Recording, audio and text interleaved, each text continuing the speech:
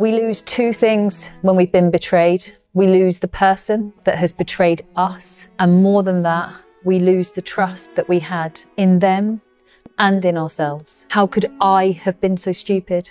How could I not have seen that coming? How did I miss that red flag? But also, I'm going to miss them this person that committed this act of betrayal, the action, I can recover from the action itself. The thing that I can't recover from or find a home for is the shame that I'm now left with that you could do this to me and that I'm trying to find a home for this deep hurt and the fact that I'm never able to trust you again. It's not the act or the betrayal that hurts the most.